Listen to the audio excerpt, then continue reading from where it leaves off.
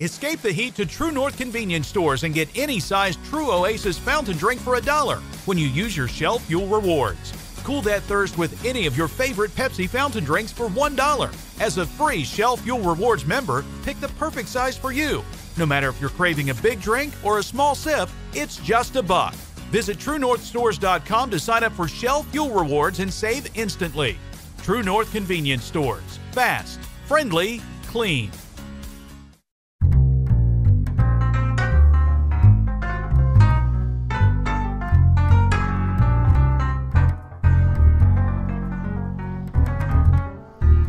It's Monday. It's August 14th. And the word of the day is resistentialism, which is the belief that inanimate objects are out to get you for Huh. spite. Used in a sentence, resistentialism might sound crazy, but it's not paranoid if a chatbot really is listing you as a personal enemy, and that does Exactly, happen. Yeah. And it's from the original Greek. It's not resistentialism if you have to reset the damn Wi Fi every 34 seconds. Exactly. You know, I'm not the youngest person on this podcast, but I'm getting there. I'm Noah Lugeons. I'm Eli Bosnick. I'm Heath Enwright, and broadcasting delayed from America's Far Center, we are the Skepticrats. On this week's episode, Republicans won't rest until the highest court in the land finds Hunter Biden just a guy who did meth a few mm-hmm. times. We take bets on whether Trump can make it to this episode airing before he violates his protective order. And a very sad white nationalist militia does some dive action role playing. But first, the rest of the intro music. Joining me for headlines tonight are my fellow skeptic rats, Noah Lugeons, and Eli Bosnick. Gentlemen, very important sports thing before we get started. It looks like the Zuckerberg v. Musk MMA bout is slowly coming together, and it's going to be happening in Italy. Elon. Elon Musk was like, I want it in the Coliseum. And Italy's government was like, it's not going to be in It's the not going to be in the Coliseum. I know There's our no one shot of that. No, you can't have it. Absolutely not. But they are going to do a big charity thing, probably in Italy. So, what kind of odds do you need for you to bet on Elon Musk against Mark Zuckerberg? The same odds I'd need to bet on him to win the Women's World Cup. Yeah. Okay. Uh, well, I mean, to be fair, I'm pretty sure Elon would have done better on that penalty kick than Megan did. so that's a bad example, Noah. But Boo! like, we, Boo! Nobody likes you. If I thought you knew what you were talking about, I'd argue with you. Uh, in our lead story tonight, for months now, congressional Republicans have been demanding that Attorney General Merrick Garland elevate David Weiss, the Trump appointed U.S. Attorney investigating Hunter Biden, to the position of special counsel. Well, on Friday, when it became clear that the plea talks had broken down between Weiss and Hunter Biden's attorneys, Garland did exactly that, which of course led to congressional Republicans expressing outrage that Garland would dare to do the thing they demanded that he do. Oh, we smashed into this car that we were chasing. Right, yeah, no, right, exactly. It robs them of the ability to pretend that those demands would get us any closer to their desired outcome, so how dare he? Right. Like that asshole yelling, suck my dick abusively for years and then being terrified when the answer is finally, yes, take out your penis and I will suck it right now. Go for it. Do it. And now they're like, what? No, no. Now you, ah, now you ruined it with consent. The political party. Yeah, right. Now you ruined it with consent. The party. yeah, that's fair. That is fair. It's been the political platform for a while now. Yeah, yeah. So, of course, this all stems from the Republican obsession over accusations that Hunter Biden improperly used his father's position as vice president to enrich himself. Because, you know, if there's one thing that the party of President George Bush Jr. hates, it's when nepotism favors the children of former vice presidents. and I mean, well, given their outrage when China fast tracked valuable patents for Ivanka Trump's company, and when Jared Kushner roped in over $2 billion worth of investments from Saudi Arabia, and when Donald Trump Jr. simply was in any capacity, you can imagine why they'd be furious about the suggestion that Hunter Biden was courting influence. And despite the inability of a highly motivated U.S. attorney that's been investigating this for five years to turn up any compelling evidence of that fact, and the equal inability of no fewer than three separate dedicated congressional committees looking into the same thing to find any either, they're still pretty darn sure that evidence is just it's just around the corner somewhere. Well, now that now that they have a special Mm-hmm. counsel, they seem to think special counsel is like leveling up a wizard in D and D with like new spells or something. I mean, to be fair, now that he's special counsel reporting to Congress, he's got speak to the dead as a cantrip, Yeah, right? Like he's right. got to have he's that. Finally got enough spell slots. Now, to be clear, the five-year-old federal investigation that the Trump administration began into Trump's chief political rival's family has turned up a few possible crimes. um, not the ones they were looking for, right? But a few. Uh, he allegedly failed to pay taxes on time once and uh, didn't, ad- or I'm sorry, twice, Ugh. and didn't admit to being a drug user while filling out a questionnaire to buy a gun. And of course, there's nothing Trump supporters hate more than tax shenanigans, and nothing Republicans in general support more than reasonable restrictions on gun ownership. So they're every Guns, bit yeah. as angry about this as they were about, uh, you know, whatever it is that they had accused him of originally. Okay, he wasn't doing the thing we were looking for. Hunter Biden, he refused to sell his advisory service to a gay energy company in Ukraine because of his sincerely held religious. Fuck, hold on. I mean, to be fair, their last guy didn't pay taxes at all. Maybe they're insulted by the half-assery. Right. Have we considered yeah, it's that's half-assery? It. That's it. Yeah. Now, of course, until a couple of weeks ago, it looked like this was all going to be resolved with a plea deal, but the Trump appointed judge overseeing the proceedings blew that the fuck up. And I guess now that the plea deal is pretty much off the table, the investigation is going to go forward. And because Biden's administration is more concerned about the impropriety of Biden's DOJ looking into his son than Trump's administration was with the impropriety of his DOJ looking into his chief rival's son, Merrick Garland has elevated the guy already working on the investigation to the position of special counsel, a move that many Republicans are deriding now despite having called for it for months. Because again, actually objectively investigating their claims doesn't work as well for them as screaming cover up. Yeah, I don't get how Democrats are doing this.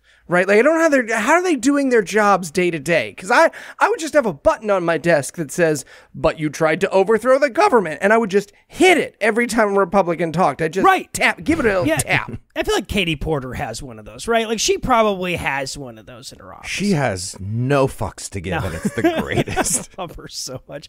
Now, I should note that one of the congressional committees investigating the Biden family's finances did hear from two IRS whistleblowers who claimed that they were stymied in their efforts to fully investigate Hunter's wrongdoings and that their recommendations for stiffer charges were ignored, thus justifying uh, a special counsel. Um, and and look, you know, testifying before the 118th Congress puts the veracity of their claims exactly on par with people who say the U.S. government is hiding recovered alien corpses from UFO crash sites. so, you know, this is pretty damning stuff. Pretty damning, yeah. The Republican account of Hunter's laptop is a more compelling UFO story than anything we heard about in that hearing about You know, UFO that's true. stories. Honestly, if Hunter Biden didn't exist, these proceedings would be unaffected. Well, unaffected. right, except that like you couldn't prove any of the allegations were untrue then. Yeah, exactly. But but so okay, so the point of this isn't the severity or veracity of the charges or even the result of the investigation, of course. The point is that there are charges and that there is an investigation. Republicans are already telegraphing their intent to keep this faux controversy on life support throughout the election so that their people can answer, isn't your guy facing 78 felony counts and 3 indictments and counting with, yes, but your guy's son is facing two misdemeanors that normally wouldn't get charged in a felony gun charge that we would insist is unconstitutional in any other circumstance, and thereby be like, you know, tied in terms of scandal. Yeah. Though, to be fair, if you insist on upholding democracy, we're going to incarcerate your drug addicted son, has also been the Republican Party platform for the last few years. I just, Yep. it's, it's consistent, is what I'm saying. It, it no, feels consistent. Fair. That's fair. And speaking of keeping up with the news these days and the toll that takes on your mental health, it's time for a word from this week's first sponsor, BetterHelp.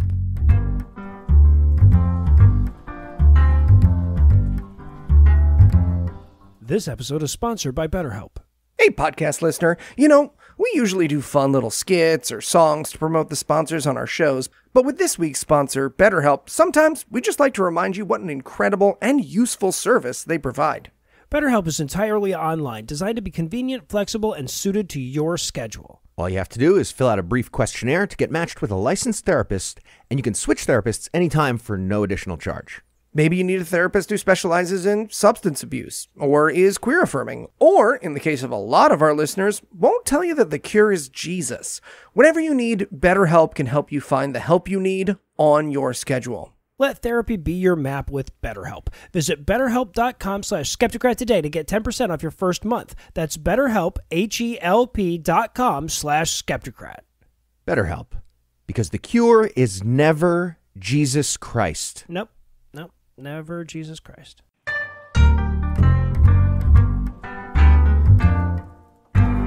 And we're back. Next up in headlines in Purdue Would Have Thought news. Strap on your demonic themed skis and grab your bacon net because the Supreme Court, yes, this Supreme Court, did a good thing this What's week. What's a bacon net? Huh. I want one. I don't know what it is, but I want Uh, one. So flying pigs in the bacon net. I stared at it for so long, Keith, and I'm like, because pigs fly. I get Pigs it. fly. Oh, you're netting them And- like and- butterflies? Right, yeah, right, Yes. exactly. And you're skiing in hell. And They flit, and you need a net because you don't want to can hurt their, their their pig wings. Correct. It's gentle. Anyways, what do they do, you ask? Good question. what I- good thing did the Supreme Court do, Eli? They temporarily blocked a bankruptcy deal for Purdue Pharma that would have shielded members of the billionaire Sackler family, which once controlled the company, from additional civil lawsuits over the opioid epidemic and that capped the Sacklers' personal liability. okay, anything short of making the Sacklers inject the whole bag of heroin, not enough. Right. Also, we get all their money, and they all go to jail forever. Sure. Right. Sure. Yeah. Yeah. And every member of the family's first name is legally changed to Nut. Support. yes. Nutsack. So here's the story. Imagine if the makers of aspirin secretly knew that aspirin was as addictive as heroin, but they still sold aspirin like it wasn't. And they told people it was actually the opposite of addictive. That's what the Sackler family did. Very clearly. On purpose.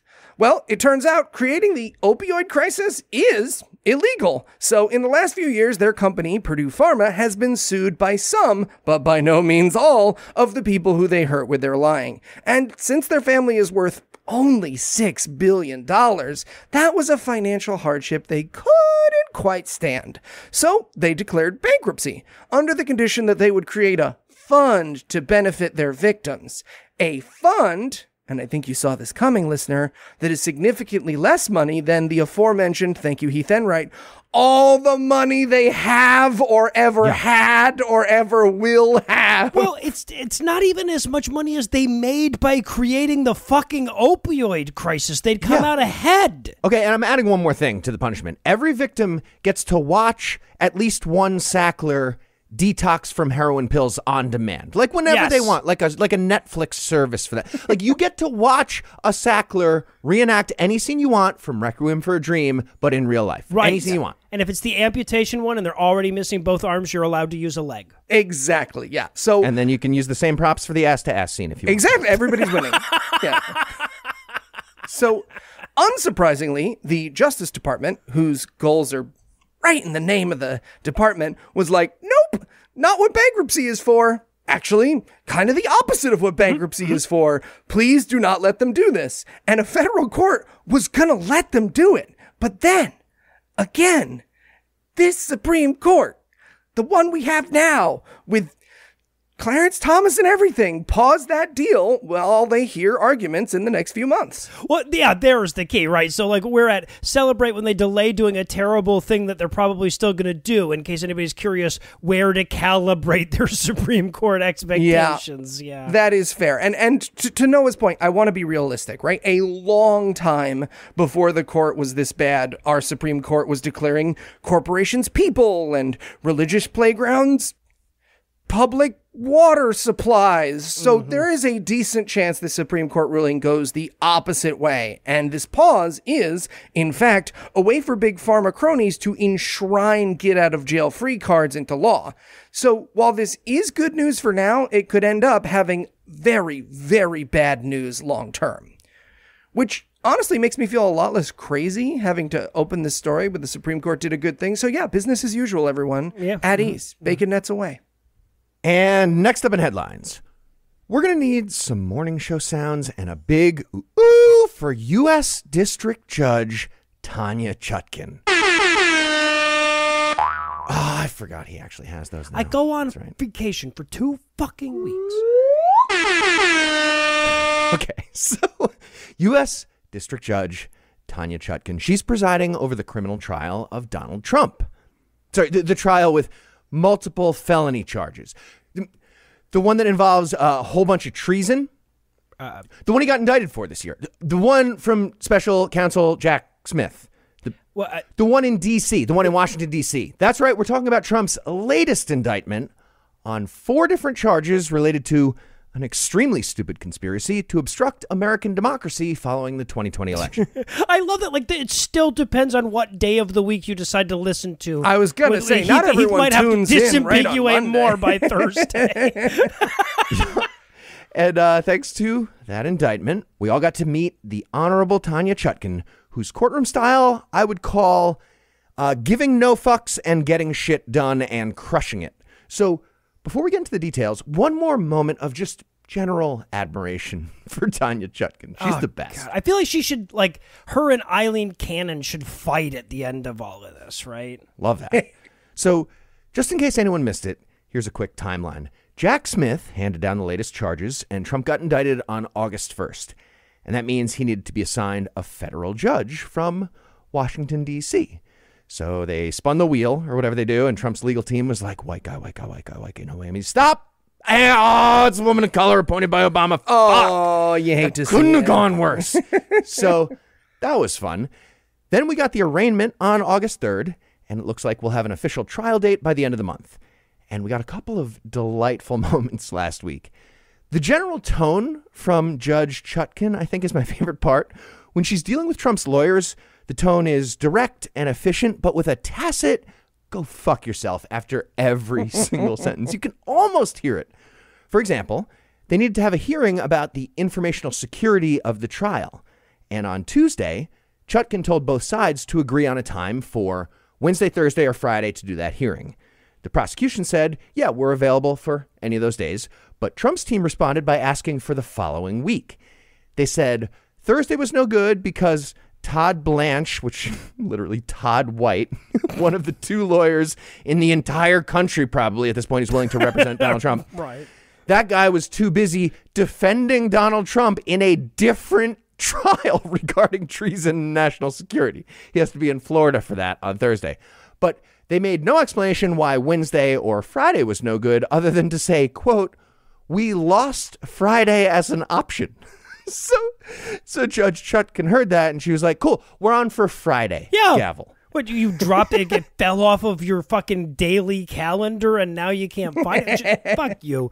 God, well, you have to keep in mind, of course, that this comes after his lawyers filed for like a fucking temporal change of venue. Right? They're just like, we can't do this soon. Right? We can't. That's prejudice against my. Now is prejudiced against my clients. So. Uh, I believe I have the right for my client to have a slow ass trial. That's in the Constitution, isn't it? All right, so that brings us to the hearing on Friday, which was about public discussion of certain types of evidence. As with any criminal trial, neither side is allowed to do anything that would intimidate a potential witness or taint a potential jury member. And everyone involved in the legal system knows all of that unless they're complete idiots. So, hence the hearing with Trump and his lawyers. And once again, the tone from Judge Chutkin was the best part. With Trump himself, the tone is, I'd say, uh, dealing with a shitty child who's about to do something stupid at all times, and you just have to be like, ha ha, hop, nope, it looks like you're about to do something dumb. Gonna stop you right there. and as it turns out, Trump already did something stupid too. He recently made a social media post that said, quote, if you go after me, I'm coming after you, exclamation. And unless that was a very specific reference to pee stuff during a sexual encounter that he had, mm-hmm. it's very clearly an illegal threat before the trial even started. So, among other things, Chutkin reminded Trump's team that they probably want to take away his phone and have him be grounded until he starts acting like a big boy with responsibility Yeah. to have those things. Right. No, and his lawyers have to go into an actual court of actual law and be like, Your Honor, that was just a general call for violent retribution. He makes threats like that all the time. It's just all the time. It's why we're here. Am I right? I mean, I know we're supposed to pretend it's not why we're here, but come on. I'm just cashing checks.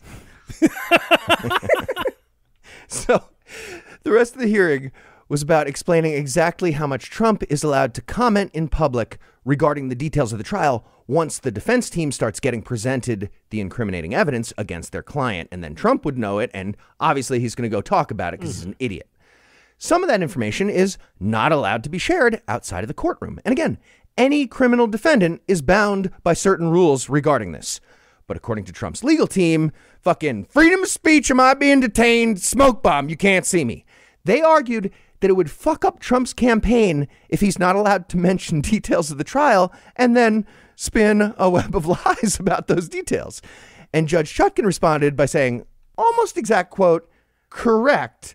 And just like every other criminal defendant, being on trial for multiple felonies might fuck up his day job, Yep. which, to be clear, is unemployed person running for office. Right, and to the fucking Trump supporters out there, like the argument from your guy's lawyer is that limiting the ways he can lie about his felonies will impede his presidential ambitions. How do you square that shit? Yeah. Also, at this point, anybody who believes Trump doesn't need this particular set of lies, right? Just say you're putting on a school play at the courthouse. They don't give a shit about what's true, right? They're buying it. Right, yeah, fair. Fair. Okay, so bottom line, if you have any Republicans in your life, they're going to yell about how Trump's being forced into silence here. And that is correct. And it's legal. And it's how it works for everyone else, too, if they're a criminal defendant in a trial like this. So encourage those people in your life to continue being mad and ask them how it feels to be mad. Have them describe their painful emotions in detail to you. It's a fun thing. Oh yeah, I well, you can doing it. record it, play it back, make a little montage. And in Twitch Please news. Popular Twitch streamer Kai Cenat was charged with two counts of inciting a riot and unlawful assembly last week after announcing to his 6 million plus followers that he'd be giving away, among other things, computers, PS5s, gaming chairs, microphones, headphones, keyboards, and webcams at 4 p.m. in Union fucking Square. How'd that go?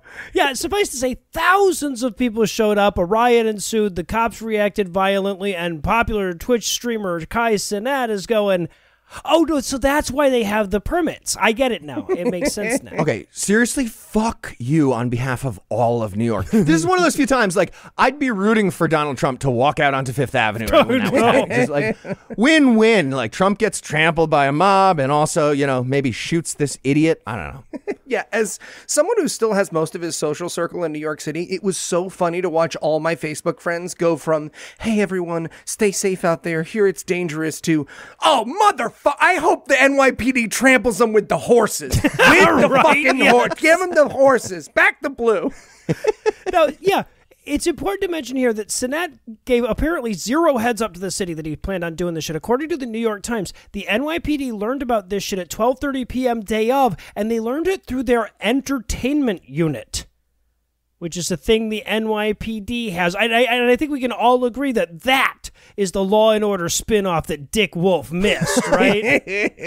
Okay, anyone who ever called themselves an influencer, non ironically, I want you arrested by Mariska Hargitay and Ice-T, for sure. I want you going door to door for the rest of your life, warning your neighbors about yourself and how you said influencer that one time. Fuck Way yeah. ahead of you. But but yeah, so the entertainment unit learned about the giveaway. Um, the cops sent a few officers to assist with potential crowd control, and then suddenly the crowd swelled from a few hundred to over six thousand. At this point, chaos ensues. Uh, according to the Times, quote. Fans of Mr. Cenat darted in and out of traffic, climbing on the hoods of cabs and other cars. Why specify cabs? Just cars. They climbed on the hoods. Anyway, uh, continuing the quote. Others clambered up lampposts and traffic signs, toppled trash cans, or threw objects at police officers. Several set off firecrackers, sending throngs of people running. End quote. And though they didn't say it, I feel like there's sort of an implied, and they did this stuff even more than usual for New Yorkers that they should have added there for clarity. Exactly, yeah. It's like Iowa choosing a candidate. Fucking crazy. So yeah, so police then escalated the violence because it's not like these were just innocent Trump supporters trying to break into the Capitol building to overthrow democracy. This was a situation that demanded force. Uh, eventually, order was restored after at least 66 people were arrested on charges ranging from unlawful assembly to criminal possession of a weapon. Uh, Police Chief Jeffrey Maddrey places blame for the incident squarely on the shoulders of Cenat, of course. And let me just say, in New York's defense, like in my experience, there is literally no event so insignificant the NYPD won't shut down roads and reroute pedestrian traffic over it. Right? They'd shut Union Square down over a goddamn gender reveal party if you filed the fucking paperwork. But Cenat unfortunately did not file the paperwork, and instead seems to have simply said like, "What's the worst that could happen if I invite six million followers to the same place at the same time in the fourth largest transportation node in New York City at the beginning of rush hour with no preparation or thought to public safety. Come on. Insane. He needs to be New York City punished, like themed around New York City. Like he has to stand at the top of the stairs out of a subway holding a giant paper map and spinning around and just like a big sign next to him that says like go ahead, I do deserve whatever you're thinking. Like Or- something New Yorky. Or, or worse, he should have to be a Twitch streamer. Okay, calm down, Okay. podcaster. Um, I, so- we're way ahead of that. There are I mimes. I They are think- our mimes. He's killing it actually. He's like the most watched Twitch streamer in the world, I think. He's doing mimes. just fine. really, really He's successful. the world's most Yeah. famous mime. It doesn't matter. to So me. okay. So that being said, the cops clearly deserve some of the blame here, right? So it, first of all, it's not like the boys down at the entertainment unit didn't warn them, right? Um, and it's not like they didn't have police presence on scene before the crowd got out of hand.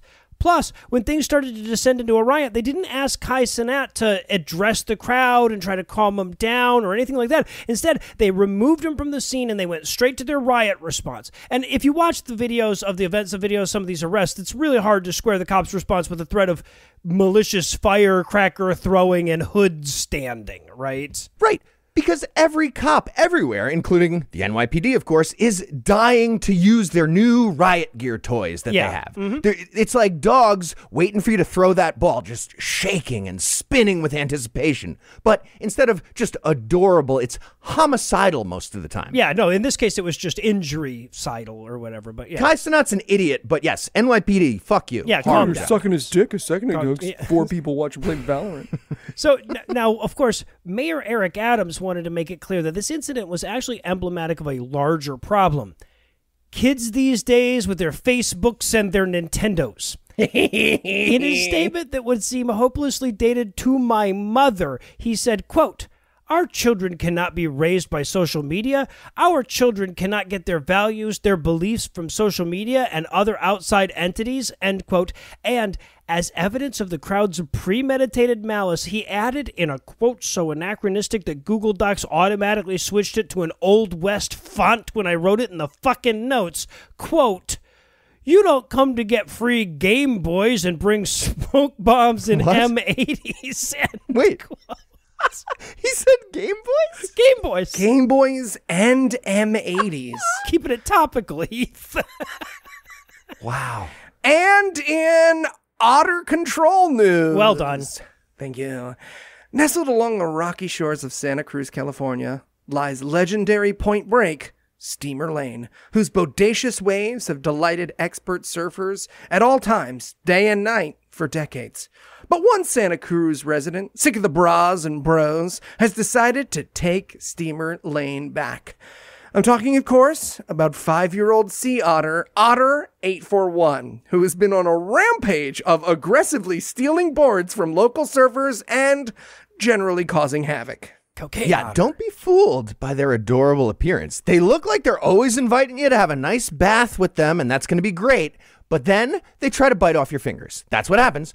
And then you know they bite your fingers off. They got a taste for human blood now. and then you got you got to get them to bite a scuba tank and then shoot the tank with a rifle and explode their face. It's crazy what happens with otters. Otters it escalates so fast. They are the greatest non-cat animals, and not just because they'll trick you into getting your fingers bitten off and then become insatiable man killers in the wake of the bloodlust. They also juggle. They love. They'll pick They do also rocks. juggle. the He- greatest got you there. they juggle. So They do juggle. I fucking love that. They do juggle. So, yeah, 841 has become a bit of a viral media sensation, both for her antics in the water, which caused local officials to put up signs warning of her presence, and for her slippery nature. For though her antics began back in earnest back in June with a viral clip of her stealing a surfboard and then chewing on it while a helpless owner watched from the beach, outdoor and wildlife officials still have yet to capture and rehome her. no, I know. I feel like at some point by now she's like had to dress like a lady lifeguard and hang an "I hope they don't look in here" sign on the end of a cannon or something. Just wildlife officials trying to kayak into a train tunnel that's actually just painted onto the cliffside near the beach. But not everybody wants to see 841 behind bars. There are several petitions circulating online in support of 841's freedom. One Can we which just can we give it a name instead of like two four six zero one like fucking weird Valjean stuff happening?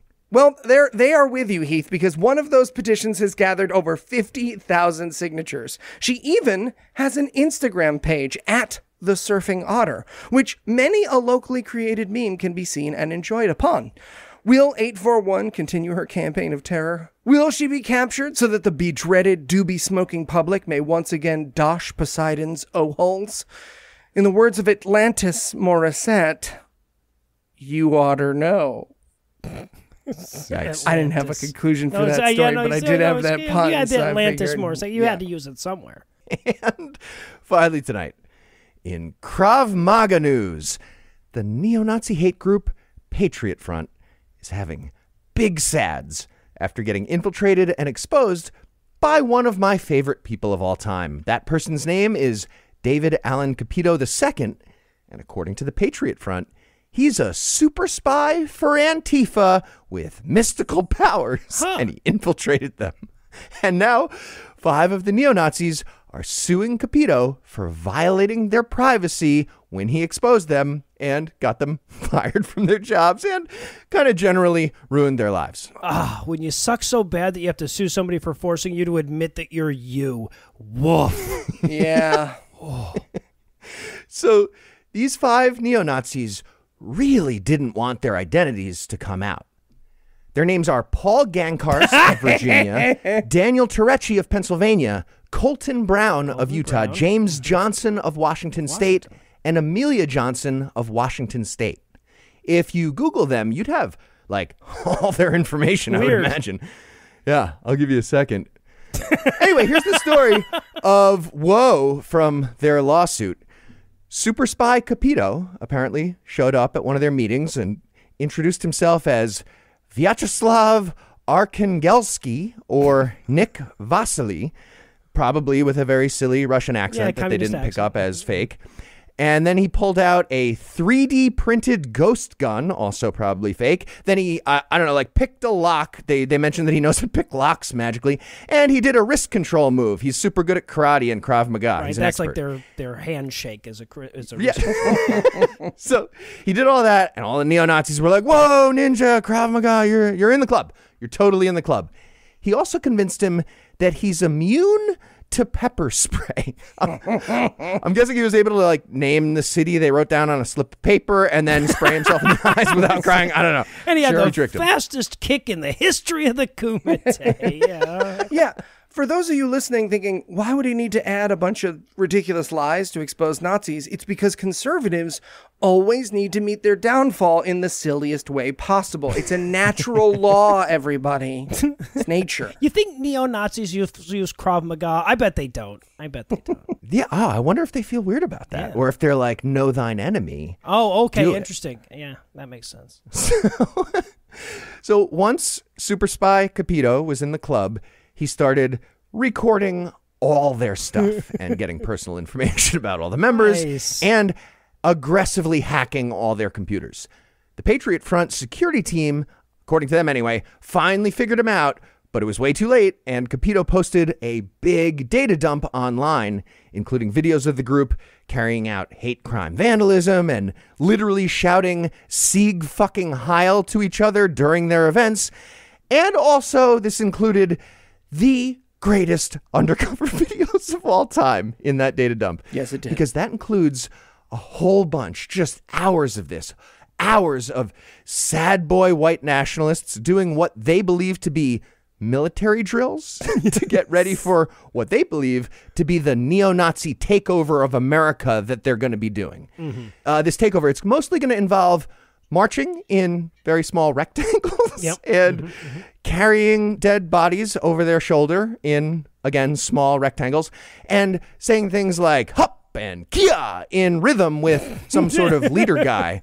Except not quite in rhythm. Well, not in according rhythm, To the but- videos, oh, yeah, yes. but they're trying. Maybe, just please, please watch some of these videos if you get a chance. We'll have a link to one of them in the show notes. It starts, the one I put here, it starts with a very long drill in which a squad of these neo Nazis is trying to just turn left and turn right on command, standing in place Yes! while somebody uh-huh. says turn Yes! left and turn right. And they keep fucking getting it wrong. it wrong. Guys, guys are spinning to face each other and getting so mad because they're nose to nose. so funny. And clearly one of them fucked it up, and they both think the other one fucked Right, it up because yes, they're idiots and they don't know which one is which. Ah. Oh, my god, I was weeping with, with laughter. Yeah. So I watched this. It's an 11 minute, minute video. I watched it three times in a row just for fun. Oh, d- d- listener, does it include them realizing out loud that the folks turning on the inside of the march are going to have to go slower than the ones on the outside? yes, it does. We It does. to- it's just the first six minutes is them trying to figure out walking like 15 year old Noah trying to look sober when he got home from the mall. yep, correct. Correct. On the plus side, though, thanks to this video, I am now 100% ready for a war against these guys with our actual military. I, I Yeah, think it's no, time. you Pick a guys get date, to- everybody. Okay, I'm, I'm ready without our military. Let's I'll do it with out. just Eli. Do it with the just word me and left. Eli We'll fight this entire militia and win for sure. I don't know how to fight. Eli, do you know how to fight? It doesn't Oh, yeah. matter. I know how to turn Okay. left. I know how to turn. yeah, exactly. Eli's a black belt in Taekwondo. I'm We're a gonna kick your second degree Yeah. black belt, yeah. and they probably will hold still and hold their heads like boards. So I feel like I feel like I got this one. I think my favorite part is the three person tandem push up Mm-hmm. drill. Oh my god, it's incredible. Very much not clear how that's going to work into their plan, but they do a three person tandem push up where they're connected like like a Cirque du Soleil thing. but yeah, legs over the it. other guy's head, kind of a thing. So when you're lifting good. Yeah. Uh-huh. So apparently, these people want to do a hard reset of America in a racial sense. That's like their mission statement. According to the Patriot Front, membership within the American nation is inherited through blood, and it's only for people with pan European identity. And in order to pull that off, they might need to destroy Antifa with. with a very sexual tandem push up at some point. I don't know. Again, yes, looking forward to this war or fight or whatever we do against them. Yeah, no, I- I'd be fine with these assholes just showing up at that riverboat in Montgomery. They should really start doing drills to like dive out of the way of folding chairs. Yeah, they're for it's an, it's an essential part of their defense. just ducking back like Neo. Yeah, no, I get it. Did you see the part with the shields where they're trying to like hold the shields up on command? Oh, God! and one guy no. keeps putting too big of a gap in their like phalanx that they believe they're doing. And the like phalanx commander guy keeps putting his arm in the space, and he's like, "You see the space that I'm mapping out here? You're gonna get stabbed with a spear through here. You need to tighten this up. No gaps. All right, do it again. One, two, right three. Snap. Shields up. It's so stupid. All right, watch the video. On that note, we're gonna close it out.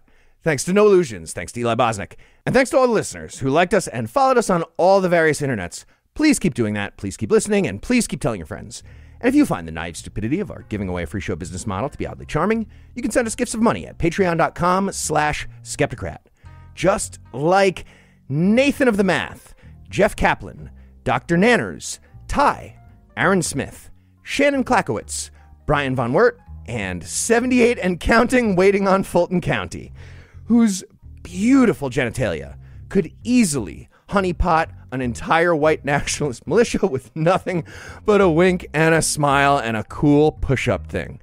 And whether or not you're feeling financially benevolent like those fine people, if you enjoyed our brand of whimsy and you'd like to hear more dick jokes free of charge, check out our brother and sister shows, The Scathing Atheist, God Awful Movies, D&D Minus, and Citation Needed, available in all the podcast places. We just have one last thing. Let's compliment that pianist. Special thanks to Ryan Slotnick of Evil Giraffes on Mars. He's the creator of the virtuosic musical stylings you heard today, which were used with permission. You should definitely check him out using the links we'll provide or by Googling the only band called Evil Giraffes on Mars. Until next time, catchphrase sign off.